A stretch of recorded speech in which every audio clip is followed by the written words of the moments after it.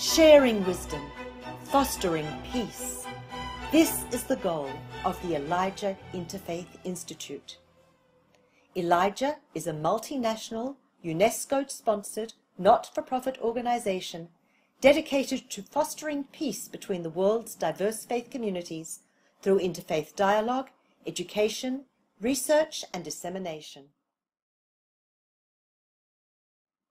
Founded in 1996 by Rabbi Dr. Alon Goshen Gottstein, its activities generate dialogue at the highest levels, bringing together world religious leaders and renowned scholars the world over.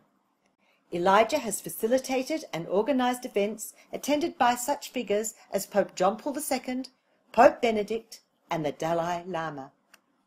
As testimony to the importance of Elijah's work, it has received sponsorship by UNESCO, as well as generous financial support from foundations like the Fetzer Institute, the Carnegie Corporation, the John Templeton Foundation, and the Udo Keller Forum Humanum Foundation.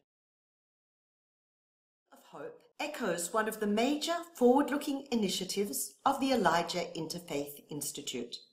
Elijah has begun to move its focus to making tangible the ideal of hope. We are moving forward in realizing the dream of building a center of hope, house of prayer and education in Jerusalem, where sharing wisdom and fostering peace and the ideals of friendship and hospitality will find an embodiment in a unique facility that will redefine interreligious relations worldwide. Discussions and planning for this project will be part of the agenda of the upcoming meeting.